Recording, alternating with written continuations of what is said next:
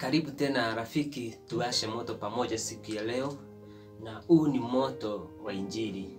Najua ya kwamba tutabarikiwa pamoja hata wakati tunaendelea. Kumbuka ya kwamba sheria ya kwanza katika hiki kipindi, kuingia pale katika YouTube na kutafuta hii channel Prince Nev Media na kuweza kusubscribe pale, kuweza kulike video ambazo tumeweka pale na pia kuweza kucomment na pia kuguza alama ya kengele, ndiposa wewe unapata kila notification ambayo iko pale. Swali ambalo unaleta siku ya leo, ambalo nataka tuweze kulichambua na uweze kuzungumza na mimi katika SMS, uweze kuzungumza na mimi. Swali ambalo nauliza ni je, kuna kuanga na artist wa ukweli Kenya? Hili ndilo swali ambalo nataka tuweze kuchambua siku ya leo, na nimeandika phrase hapo na nikaweka alama ya mshangao ya kwamba hakuna, there is no true artist in Kenya. Alama ya mshangao, so kitu ambacho ningependa tuweze kuongea pamoja na wewe. Ni wewe unaamini wapo ambao ni wa ukweli, tuweze kujua artist ni akina nani. Artist ni wale ambao hawaamini Mungu hawaamini kuna Mungu yeyote. Haisemi ya kwamba wako na sanamu, ni wale hawaamini nguvu za Mungu yeyote, awe ni Mungu ambaye tunaamini, ambaye ni muumba mbingu na nchi, awe ni kikombe, awe ni kijiti, iwe ni mawe, iwe ni mti, iwe ni, ni, ni mto. Hakuna kitu ambacho anaamini, aamini ya kwamba kuna Mungu.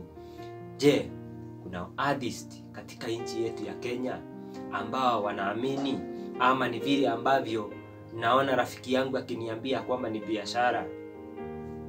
Ningependa kwanza tuweze kuchambua neno, na leo tunapitia neno katika kitabu cha Psalms chapter number 14. Psalms chapter number 14, ndiposa tuweze kubarikiwa pamoja.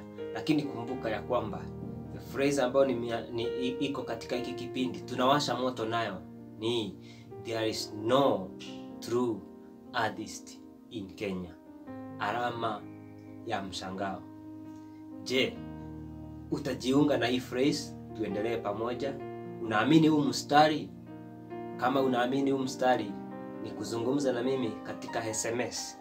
Kama unaamini huu mstari, ni kutuma SMS katika namba 0711 347 218 na nimesema ya kwamba simu zisipigwe, ni katika SMS na tutaweza kubarikiwa pamoja. Nitasoma Psalms 14 kutoka verse 1 na maandiko inasema ya kwamba the fool says in his heart there is no God, they are corrupt, their deeds are vile, there is no one who does good. The Lord looks down from heaven on the sons of men to see if there is any who understand, any who seek God. Nitarudia verse 2. The Lord looks down from heaven to the sons of men to see if there are in who understand, who seek God.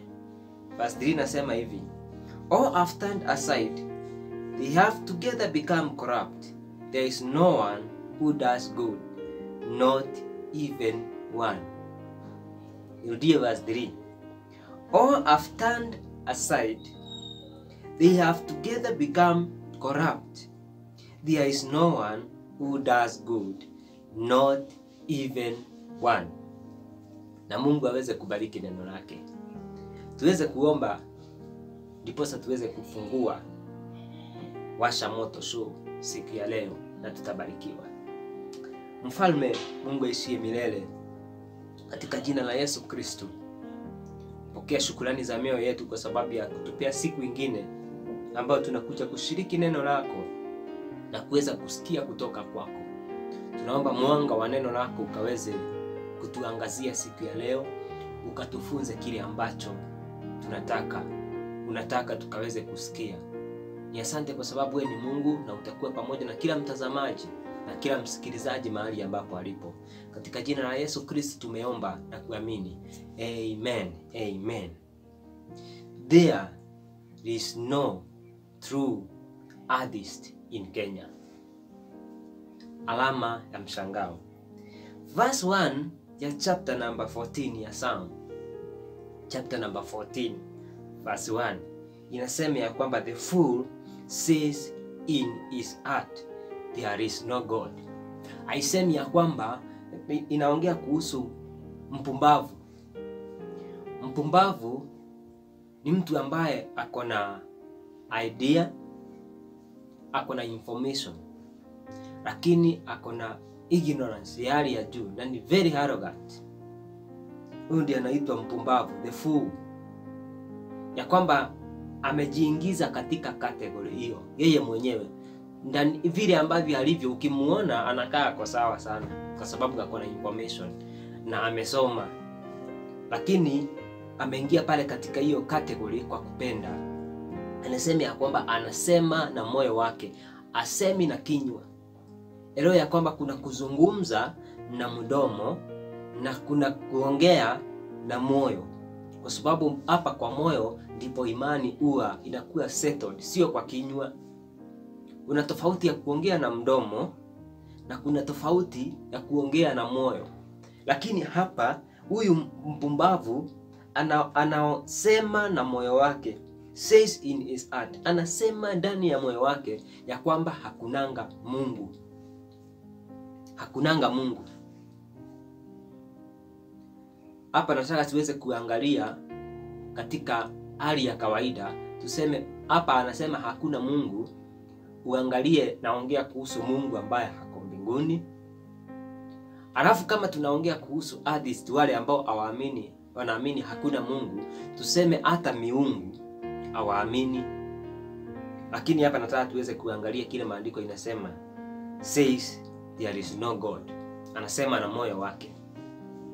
Wakati naongea kuhusu maneno ya kinywa, ningependa kwanza niweze kudemonstrate kitu, kwa sababu mimi huwa nasoma na experience. Sijui kama wewe unasomanga na experience.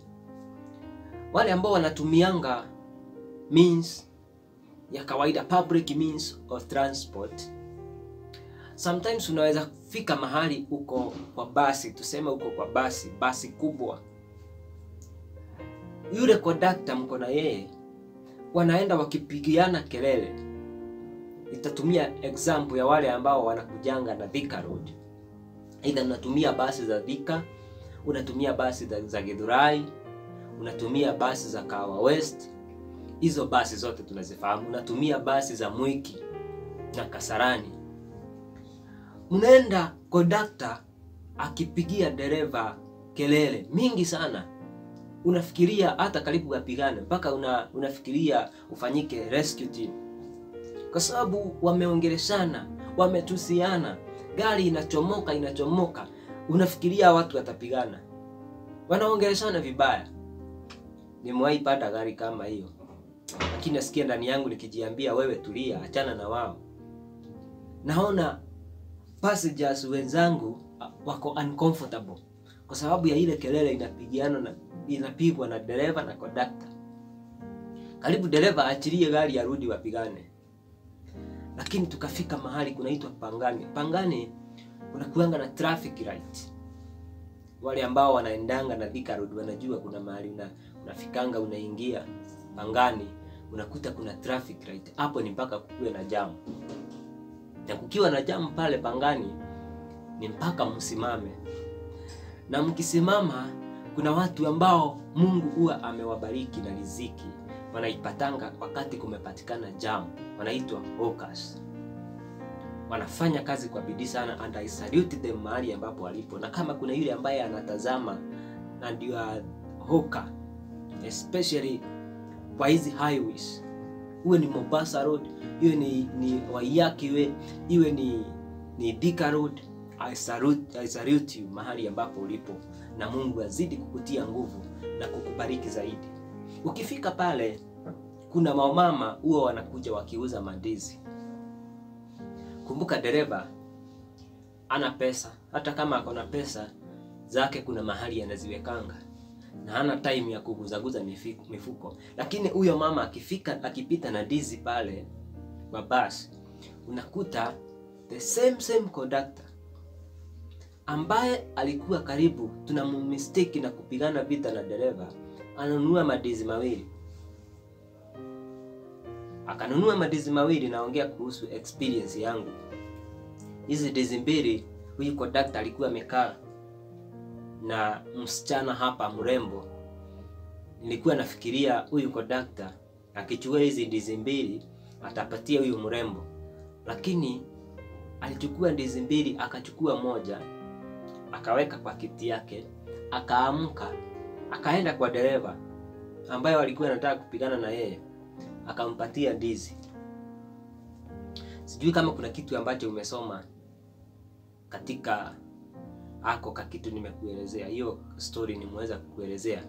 Ya kwamba walikuwa wanapigana ndio.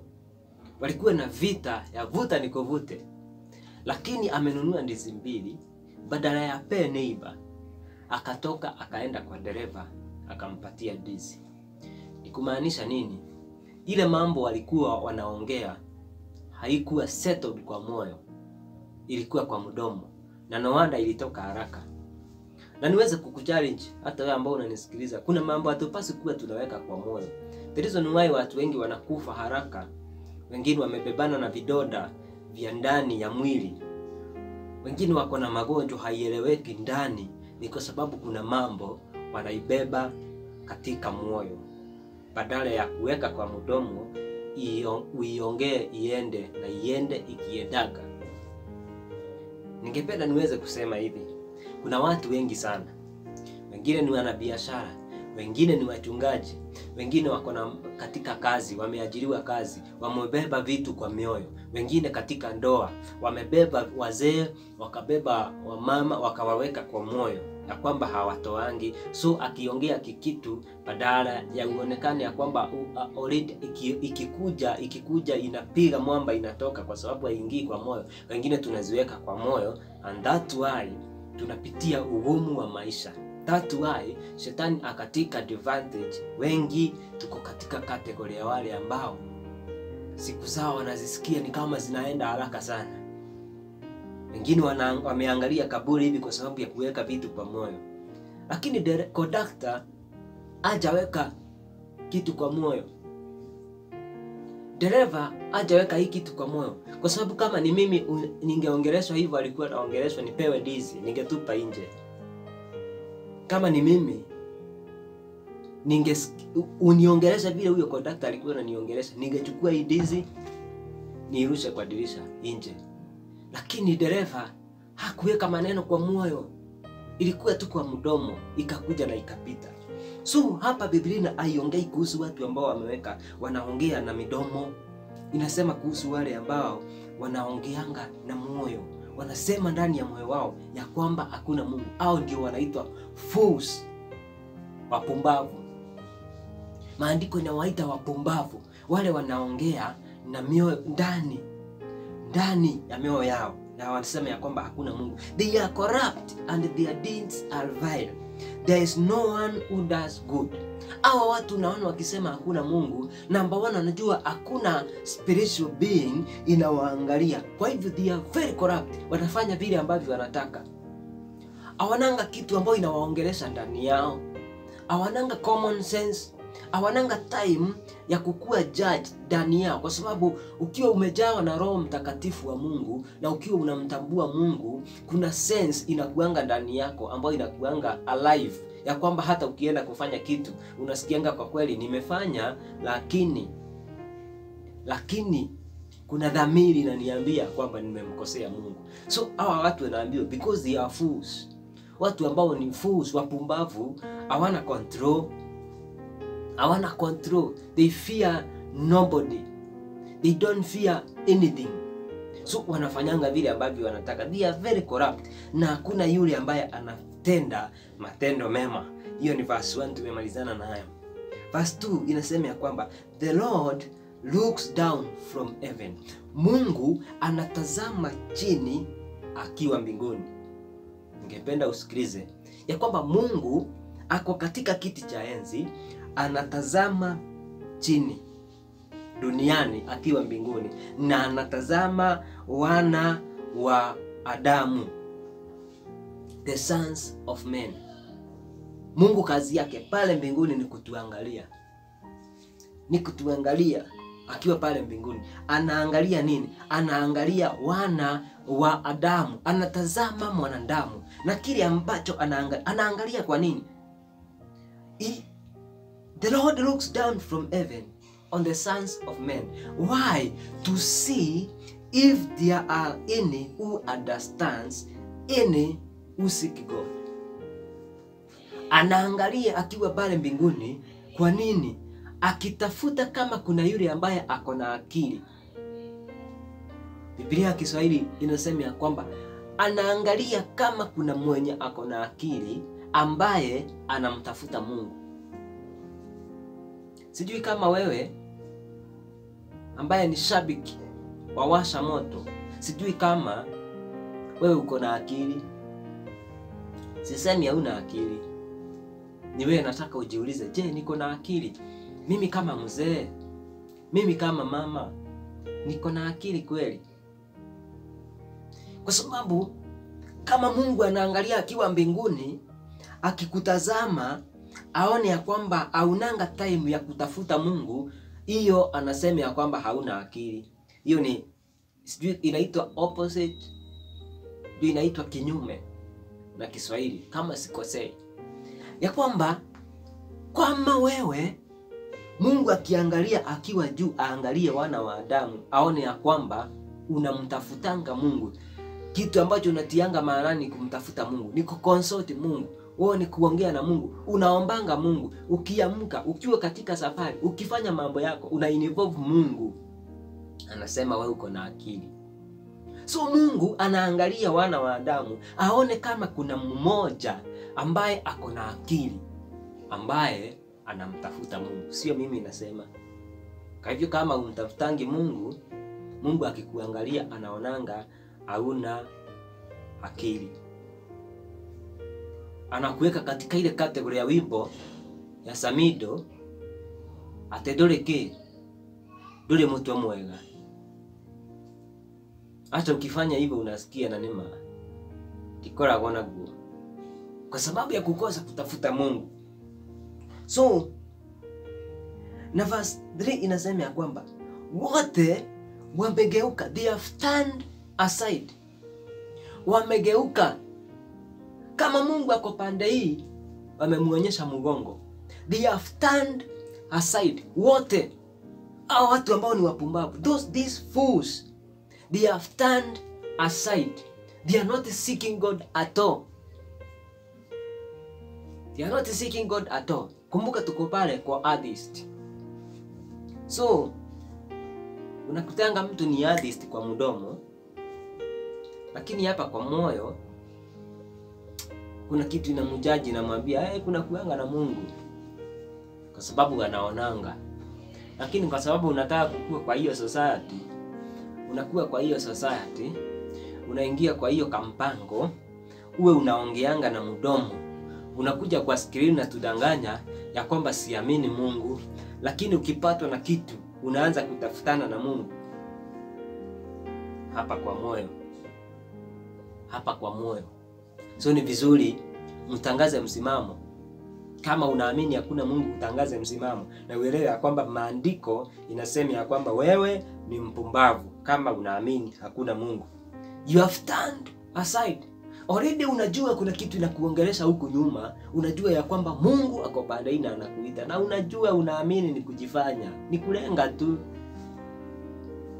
ni kulenga.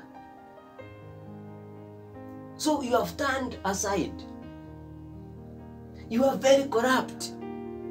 Na hii corruption yako you are corrupt ukiwa unajua dhamiri ikiwa inakuongelesha, kwa sababu ni mdomo inasema hakuna Mungu.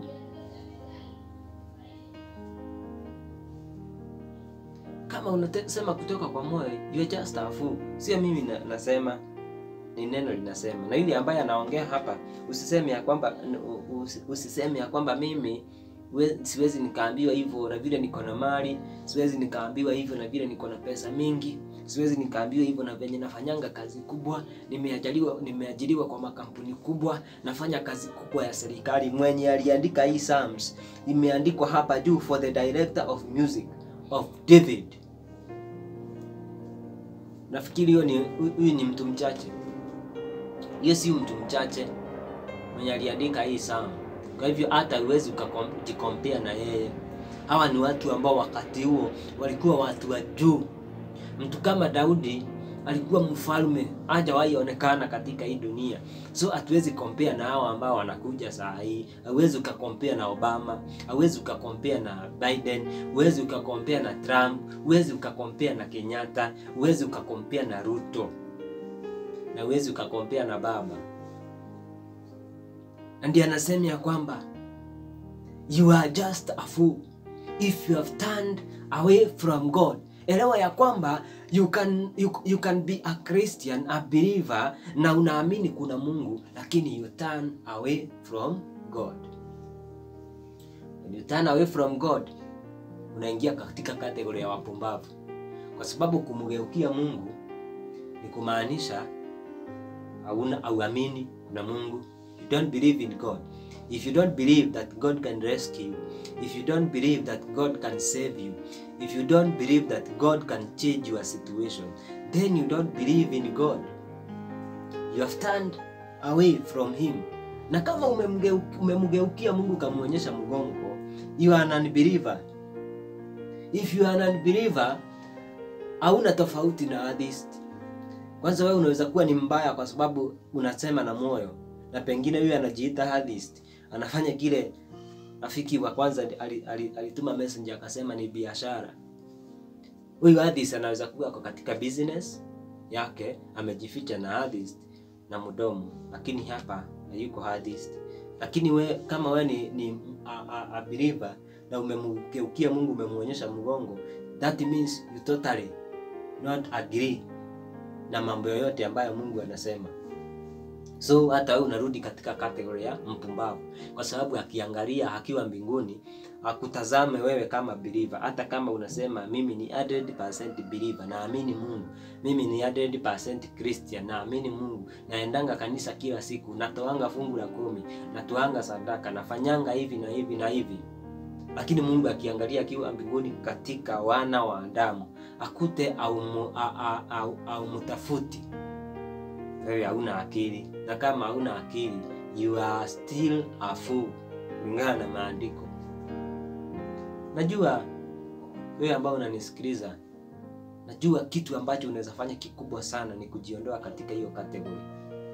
Hiyo kategori ni mbaya sana ya watu ambao hawana akili, so they are corrupt, they have together become corrupt.